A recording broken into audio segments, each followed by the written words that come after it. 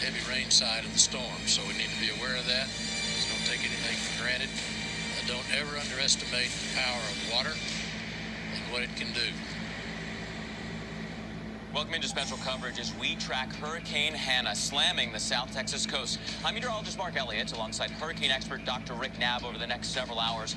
We're going to be following the potential for deadly inland flooding, fierce winds, storm surge.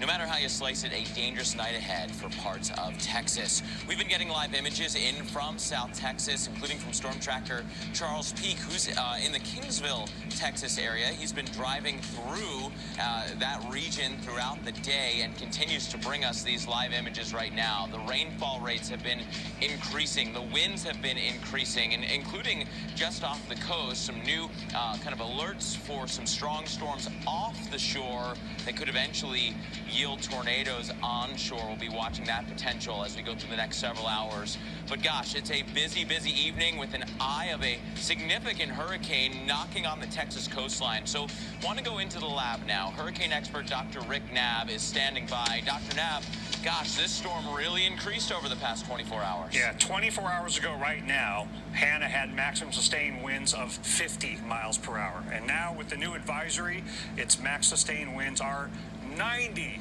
miles per hour, 40 miles an hour in 24 hours. That's rapid intensification. Nobody, no models forecast that much strengthening, but kudos to the Hurricane Center for getting up that hurricane warning 24 hours ago.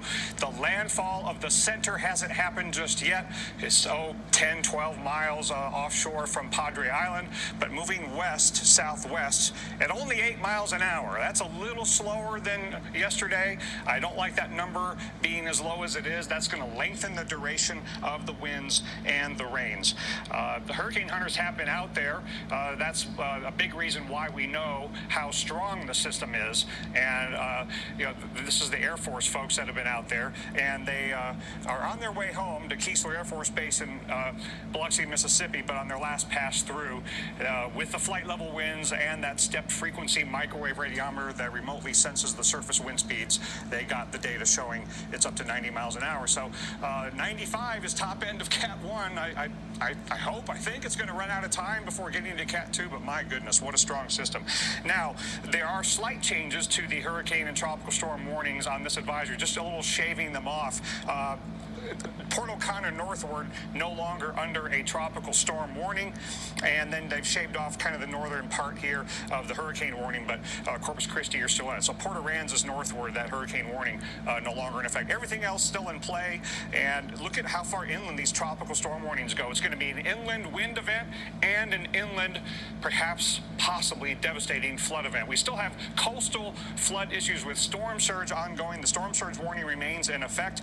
Uh, all of these bay fronts, all the waterfront here, we're going to have onshore flow for quite some time, and we have definitely realized the, the four or five feet of uh, storm starts flooding above ground. Flash flood watch is in effect, and I'll show you in a few minutes where the flood advisories are starting to show up here in deep South Texas. Uh, but that's going to be the big, big issue over the next 24 hours. Mayor, very likely flooding, a high risk down in the Rio Grande Valley. A lot of population down there. So let's take a look closely at the circulation itself on the uh, the high-res satellite loop that they've got on this, you can starting to see, just as it's starting to come ashore, clearing out of the eye on satellite. That's the clearest that's really ever looked. Uh, but on the radar, it's pretty easy to pick out. So here's Padre Island, here's Kenedy County, here's Willacy County, and Raymondville, and the center of circulation is right about in there, you know, about a dozen miles offshore, moving west-southwest about eight miles an hour. So I would say next hour and a half, plus or minus, uh, we should have the landfall here on Padre Island. But that will be just the beginning of this event. And what a 24 hours it has been. Again, 50 miles an hour yesterday. At this time, 90 miles an hour now. Pressure has come down, not surprisingly, uh, commensurate with that.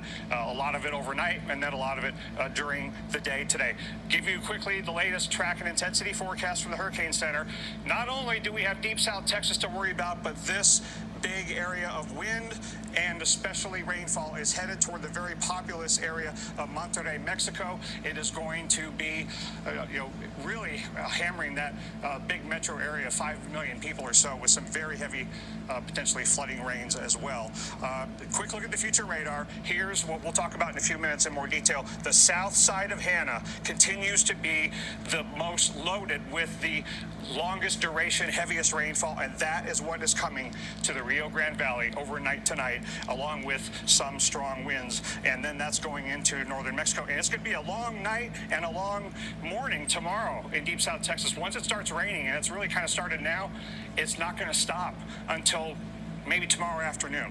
And the winds are going to be significant as well. Watch the inland areas, uh, the winds that you're going to get gust-wise as this moves ashore.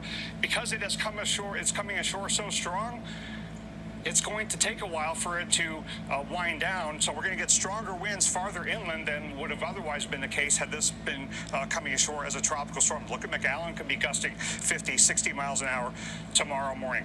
Mark, what a storm, what a hurricane, and it is just beginning. We're about to get landfall the center, but now the waterfall starts in the Rio Grande Valley inland. Yeah, yeah, landfall does not mean the end of the story by any stretch. So we want to go into the storm now, bringing in meteorologist Mike Seidel, who's in Port Aransas. Mike, what's your uh, concern right now for the Port Aransas area as this storm is knocking on the Texas coastline?